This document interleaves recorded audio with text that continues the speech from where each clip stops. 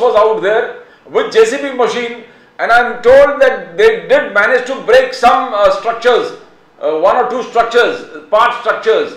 Uh, what did they manage to do? Yeah, they have uh, suddenly they, they came and they started breaking. So our people then rushed to that site and we staged dharna that if you have to break it, you break it over us only. And we are very surprised that despite, we see, police, when they give you protection, when you have got a court order to demolish, you are a government official for demolition, or something means uh, from the government side or the, law agency side, whereas there was no paperwork with them.